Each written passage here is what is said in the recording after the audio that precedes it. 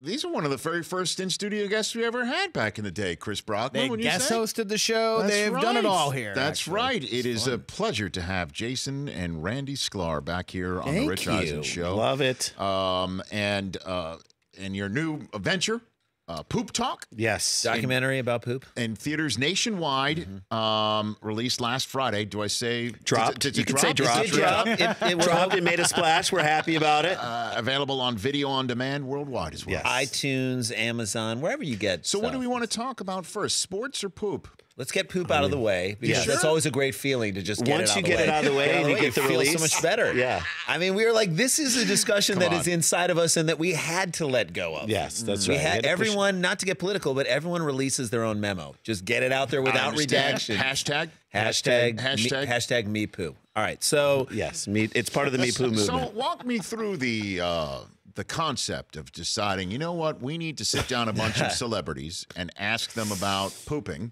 I don't know if I'd say thoughts about it. celebrity. I mean, comedians, you know this because you did comedy, Rich, that Yes. comedians are amateur anthropologists. We study human behavior. we say true. this is what's funny about it. and then we reflect it back to the audience with a take and with some comedy mixed in. So we had Pete Holmes, who's a comedian who's fantastic, star of Crashing, Yes. Kumail Nanjiani, uh, Eric Stonestreet, all these people, different attitudes towards pooping represented.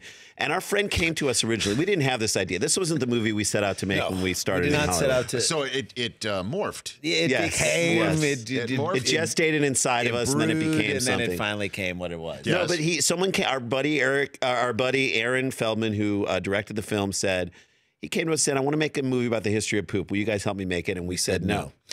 Uh, Absolutely not. Why would we do that? That's the most ridiculous. But then we said, well, what if we could make a movie with our funny friends? Yes. Make an honest, open discussion about poop, which really becomes a story about a taboo subject that something we all do, but we don't talk about. We pretend we don't do it. Yes. And this Tinder, Facebook profile picture where we are all sort of becoming our avatar, which is a high angle selfie Yes. with like an amazing filter put on it. We don't want to let the world know that we sit down and squat it out. Mm-hmm. But everybody does. And to me, that is the moment when we're Most, the most like human, the most human that we are. And what we Buckeyes fans, Wolverines fans, Everybody all do does it the same way. We can all come, can come together. on this issue. Yes, but uh, Buckeyes fans call it the pooping. They Yeah, they do the call it the pooping, And when yes. they I mean, poop, it's in the shape of a horseshoe. Yes. All right, so Hey now. Hey, in a hey way, now. we That's we- actually healthy. it That's very healthy. We all do poop on a horseshoe. That's it. We That's do. it. We do. Yeah. But uh, it was fascinating to do, really fun to do. We kind of learned so much about our friends, friends that we've known for 20 years, 10 Yes. years. You're talking about this stuff with them that you would never normally talk about, and suddenly you're learning stuff about them that we would never know. And so it was very revealing and and and just a lot of fun to do. We made it on a shoestring budget, released in theaters. We went to the theater in in Santa Monica and watched it. For opening night, the opening thing, we did a Q&A afterwards. No, and so- every yes, oh yeah, it was you know sitting with, sitting with the auteurs. Q and A. Yes, Q and A. Both Now, of us were like, sitting on toilets as we answered questions. What's Yes. to be what's to be asked and answered here? I mean, People is, asked is, us, is- like- don't we all just stipulate about? I mean, listen, point? it was it was actually really cool that that no one in the, the- the all the people in the theater were strangers. So Okay. people came to this movie and it wasn't friends and family. It was kind of cool. I, love mean, it, look, man. I know you have It's like- stories. Look, You- we all do. I mean, I'll never. Here, we just showed a clip to our uh, television audience. Uh, Randy and Jason Sklar here, uh, the auteurs, if you will. Is that the proper way? Or, Executive producers. Or the hold on a minute, the driving force. Thank you, thank you.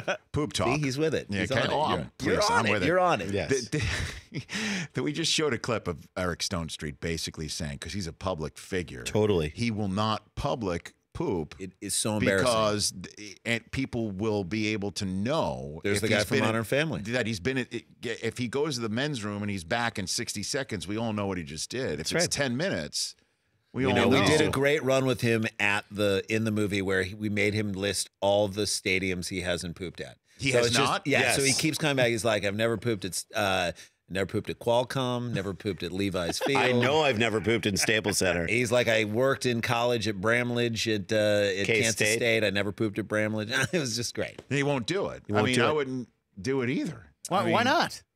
What do you mean? Why not?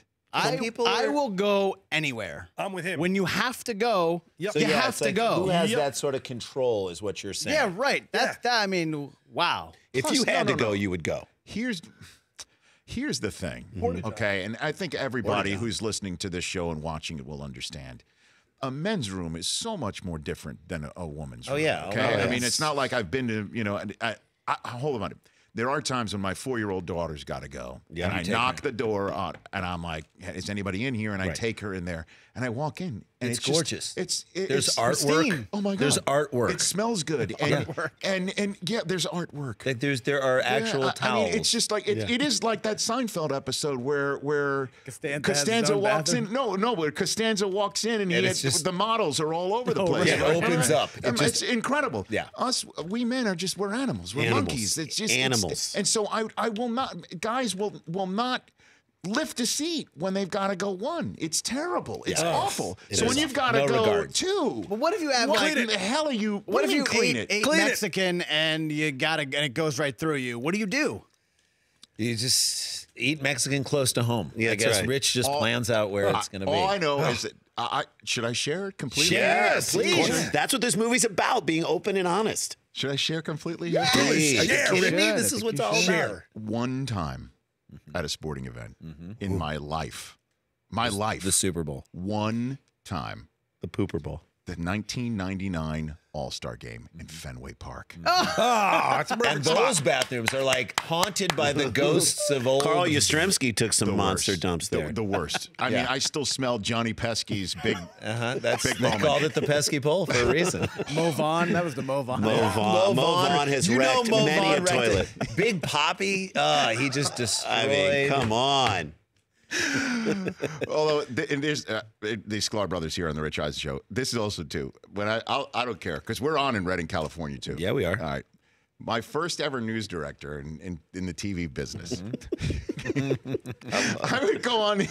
So in Redding, California, I would have to do my own makeup. Of course. Of course, I mean, market. it all, you Okay, put every market, hat on. Market 130. You'd have to. So you know, I had like this this compact or whatever you want to call it, and I'd just dab it because. And I, but I had that was just back when I had a flowing mane. Yeah, so you had a lot of hair back okay, then, I did. Oh, please. So I didn't have to do as nearly as much as much. as It's not going all the way back here. No, that's exactly. Okay. So uh, I would go. I'd be on the air at five o'clock. I'd do the five o'clock sports. So it'd be five. I'd be my hit would be pretty much five every day, Yes. like clockwork. Right. So I would go in around five ten, and I'd I'd go in and I'd you know I'd do Touch a up. little touch up. Yeah. In the one men's room in the entire small spot of KRCR TV, the news director, who also was the on air uh, host of the five thirty show, had his own routine Oh, boy. He would. that would, on occasion, uh, and by on occasion I mean every freaking day, Wow.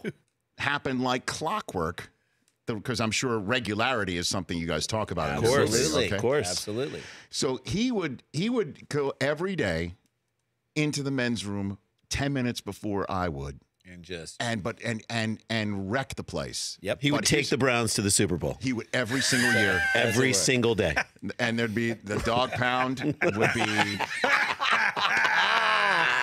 would be would be barking. Barking. Barking. barking is Barking. an understatement. And you but know who let the but- dogs out. But That's here, here is here is the kicker. That mm-hmm. here's the, if you will, cherry on top. There Sure. we go. He would walk up to the sports desk. There was one desk, me with my colleague mm-hmm. Mike Mangus, mm-hmm. a, a sweetheart of a man who would be the number one guy, and he would go unabashedly searching for the sports section. There it is. That's his tell. That's his tell. That's unabashedly what I'm about to do. looking for the sports section. Why do you need to read that now? And because he was my boss, I didn't one time call him out. nope. Uh, one time I actually saw him walking over, and I just rolled my eyes without him seeing, and I just Here it is. handed him the is. sports There it There is. you go. Take it. Go ahead, Check sir. the scores. Jeez. Back at a time when people read the sports, Sports section section. of newspapers. Back at that time when they did that. And you did your part to make sure that that became extinct. But look at this movie. It made you think of that Made guy in that guy, moment. made you think of this moment. It made you think about your your beginnings, your humble My beginnings in this humble world. roots. Very fast. The human movie. The fact that I would be able to, you know, I guess in a way that raised the level of difficulty to my first ever sportscast that made everything else that much easier. If you have to go through the gauntlet Yes. Think of what the guys from Shawshank Redemption had to climb through to get to freedom. That's what you had to do. He essentially, figuratively, had to do that every day you handed that sports section. Oh my gosh. Let's take a 60 second break. We'll talk sports. Um, Jason, you were kind enough. You wore maize today. I did, my man. You I wore had to maize. rep, Got represent. to represent it. You wore maize. I did. And you wore kind of a little bit of blue. I didn't want to be too on the nose. There's Okay. a little bit of blue in here. All right, the uh, the uh, Barber Brothers of Poop. Here I want to be Ronde. I want to be Tiki. We're back with more on the Rich Eisen Show in 60 seconds. Welcome back to the Rich Eisen Show, the docu comedy Poop Talk. Randy and Jason Sklar at Sklar Brothers on Twitter here on the Rich Eisen Show. You guys are just too. Come on, it's It's the are Brown Panther. We said it, and that's what we want people to go see. the shape of toilet water. the shape of toilet water. Or water. Lady we- Turd. I would have said Lady Turd. Lady that's Turd. My, that's my all guess. of it works. We're all sort of building off the Oscar buzz. We have an Oscar nominated. Now uh, you're making me person there. think. Now you're making me think of different ways to say the Oscar-nominated films. Get Out would just be Get the out, same, right? Get it out. Get it out. Get it out. Get it out is another one. work always. Yeah. There are moments where you shout down to the toilet. Get, Get out. out. Oh my God! The Darkest Tower. The darkest, The hour. Darkest hour. Darkest hour is fantastic work. too. Darkest Hour. Okay. Oh my gosh. Come on. Uh, so you Harbaugh reached out to you to host Signing with the Stars in 2017, right? Yes, we did that, and that was really fun. I mean, it's crazy to write comedy for that event because we came up and did some jokes because we it was at Crisler Arena. Arena, Right. And so there we were in Crisler, and we remembered back to when we were there, post you being there. Yes. uh, we camped out when the Fab Five were there. We It was the first year that they changed the ticket situation where you got a card and you could sit wherever you wanted as long as you, you were got just there in first. line early, so we camped out. And when did you graduate Michigan? 94. 94. So we camped out, and we This is 92 for the Duke game. Duke, Michigan. saw that amazing Duke game that was in the documentary Yep. and everything. And our joke was you wrote the jokes. Uh, we, I remember when we were back there and camping out for the Duke game, we walked into the Crisler Arena and a two-year-old Grayson Allen tried to trip us. that was such a great moment. that was a joke. joke. That was a great joke. Solid joke. And then someone was like, and then they kind of made an oh, and we're like, did that go too far? Did that cross the line? Because actually, there's a referee in Columbus who thinks it was a few inches behind. And it didn't cross the line. Yeah. And then Applause I'd say an hour and 20 minutes later, we had so many D-backs who joined the couch. It were a lot. there were a lot of D-backs who we recruited. Yes. That I didn't realize that they had all moved over to the end of the couch, and I went to sit down in front of 6,000 people. No Fell couch off the behind me. couch. Tripped and fell. Goes to Grayson Allen. Trip me. ghost of Grayson Trip Allen me. tried to trip Jason You don't again. make jokes about that guy. you do not joke about him. it was fantastic, though. It was That really had fun. to be. And Harbaugh, did did you occasionally look over to see if Harbaugh, Harbaugh was, was- laughing at your He jokes, was or- laughing, and I think, was. and He was afterwards, really cool. he was super cool. Afterwards, I asked him, I was like, you know, just So we're walking up through the tunnel of Crisler to get to the the press room. the press room where he's Right. about to give the press conference after what just happened. and I said, "Hey, man, how's your son? He just had a baby. I was, or Yeah. it was pretty recent. I was like, hey, he's like, oh, I got to take out the phone and show me the pictures. And I said, jokingly, I said, I heard when you, when the baby was being born, you asked to actually deliver the baby, and then you checked the defense and you handed it off to Eddie McDoom on a jet sweep. He thought that was the funniest thing I've ever said, and then he used it in the press conference. He's like, "Can I use that?" We're like, "Sure, Yeah, of course. good." And he was great. He was such a nice guy. Uh, we we talked about this before. It's going to be an interesting year in college football. Certainly, if if all those guys from Ole Miss are able to, play move right Play- away, and just play right away. It'll I it'll think change a- the landscape a little bit. Well, yeah. certainly the quarterback. I mean, the Big Ten. How how good is the Big Ten East? Is that a crazy? It's insane. Well, listen, you know that Uh, Michigan's the only school that has to play Michigan State, Ohio State, Penn State every year, and Wisconsin almost every year. And Wisconsin, not, then I- I can tell you then right they now- they got to go to Iowa, Yeah. and that's always that's always dicey. That's always dicey because they're just there's like so much energy in there. They're right underneath the hospital. You got to look right up, and everyone salutes the know. Kids. It's It's, like the best moment in all of football. It's like how do you beat that team after they do something so beautiful like that? It's very difficult. I know. So I get asked all the time, "Well, what do you think's going to happen with the Harbaugh? What do you think?" What do you? I'm like, he's not going anywhere. I don't think he's No. going anywhere because I don't think he wants to go anywhere. I don't think so either. And and truth be told, if they have a good season, then I mean, look, this was a great weekend for Michigan sports in that the basketball team beat Ohio State, Yes. the hockey team beat a number one Notre Dame team to sort of And hey- secure their sort of position. And also yesterday, Brockman, uh, Michigan uh, won the 2013 NCAA championship. Oh, yeah, that right? was- That's that true. happened, Congratula- right? Congratulations, Yeah, guys. I mean, Louisville vacated. now would yes. you? Speaking of poop talk, um, now would would would you raise a banner? no, No way. I can't. You can't raise. I don't think you banner on can. I'd do it. You would? You would? What the Would you? Really? I mean, maybe, what the hell? Has, have, has Louisville removed the banner yet? They haven't removed I it yet. I don't think it's been removed. I think Louisville should remove the banner, cut it up, and make it tablecloths for the Italian restaurant where Rick Pitino had sex with that woman for 15 seconds. Just use, make it a tablecloth. Add tablecloth. some white, that it's a little white Yeah, and red white, check. red, white check, and you're good to go. There What about go. his tattoo? Uh, he still has the Yeah. tattoo. By the way, that's that's the worst Billy Joel song I've ever heard. That you Yeah, just the said. Italian right restaurant. Italian restaurant, yeah. Scenes from an Italian Uh, Are restaurant. you watching the Olympics? Are you? I- are you knee deep into it like we are? I know these guys are. What what what's what's lasted longer from these Olympics? The curling competition or Rony Seikaly's Syracuse basketball career? Uh, I don't know. Is Ronnie Cycli still a DJ on Greek cruises? think- What's happening? I think he is. He is. Because to me, usually DJ a short shorts. Usually a sport in the Olympics, it starts one day Yep. and then four or five days later, it's done. Done. But They- they curling it is- up. I They- love They haven't stopped. They haven't. I love curling so much because it's quiet in the arena. I love mixed pair. We love mixed pairs curling because First of all, they're all engaged or married because how could another individual break the bond between two cur- a curling I couple? would just love to see, and I'm waiting to see like a, a mixed pair curling team that's on thin curling ice in their marriage. oh, and like because, because it's oh, inherently a domestic dispute because someone's sweeping and doing someone's got to cast a them. stone, and the other one's got to yell at him, "Sweep, honey." I'm sweeping. Uh, what does it look like I'm doing? I- uh, Obviously, I'm I- sweeping. I'm sorry, are you using a tone with me? Why don't you read the emails? I read? You I- get, we get tons of emails I from the preschool, and you don't the read any of emails them. I want to. I'm sweeping right now. I know you're the one who's going to sign up for the parent teacher. Why don't you do the sweeping like you sweep when my mother comes in town and you do and you Well, ignore her? the house is very clean. Sweep. The house You is very clean. sweep in the corner. The house are the stones in the back of the house. Why don't you play with my stones every All once in a while? hang That's on what a I want to second. know. Hang on a minute. Ladies and gentlemen, curling. Curling, mix, Mixed pairs, mix curling. pairs, curling. And then somebody drops the hammer at the very end, and it's all over.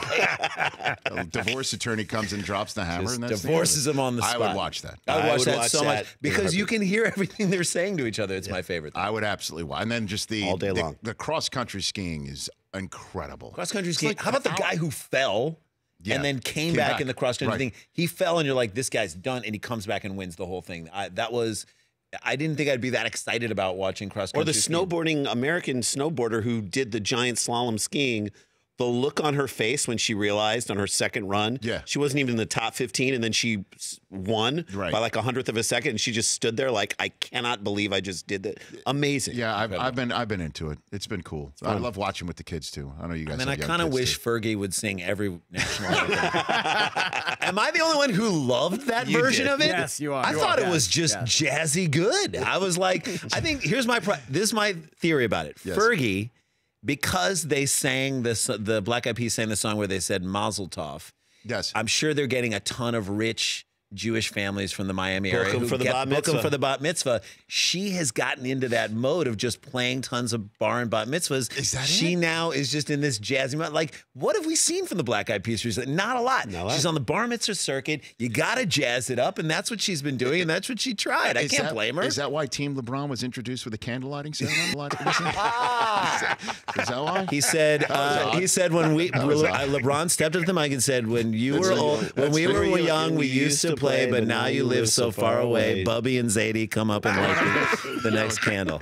Goran Dragic, today you are a man. I love it. By the way, Susie and I, my wife and I, sat behind Goran Dragic's parents, Phenomenal. who could barely say two words in English. And Were they probably proud? so happy? Except I did I did help them out because two people during the uh, introduction of the players Yeah. stood up in front of them. And Susie and I down in fronted them. You down in and the front- thank God. And the Dragic's turned to us, and that's they they might not have understood the language. yeah, Nonverbal They understood what you communication. got. But it's international that sit the hell down. Sit get out, down in front, and But you when- got little when- Dragic approval. When Dragic made it a seven point uh, LeBron team LeBron lead with five minutes to go in the first quarter, They were up. They were up. They, They were had to be up. They were were They were excited. And then we down in front of them. I- it's what a great. you down in front of you them. know, down in front of them. Sit down.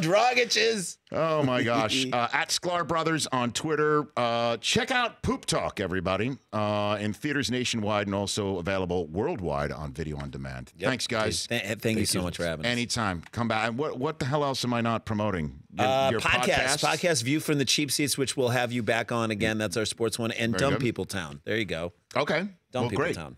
great. You know, uh, you. I'm going to speak to my wife. I think talking poop talk on my podcast with my wife would be Killer. well. Uh, it'd be Why? It would be a relationship. dicey. Di- She would, Dicey. she, I know she would love it. She would open She up. would open up. I, She would open up.